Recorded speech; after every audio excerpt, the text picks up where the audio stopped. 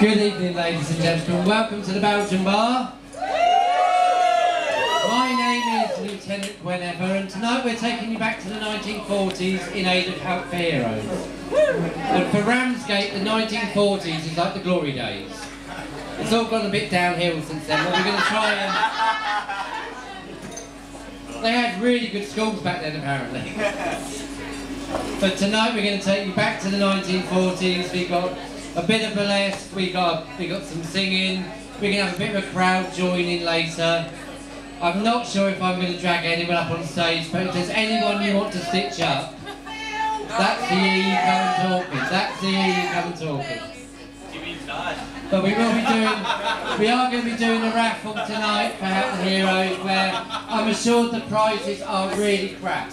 I am really assured, but we're doing this tonight because, in all seriousness, there are these guys that go abroad and they fight for the politicians, whether they believe in the cause or not. They do what they're told.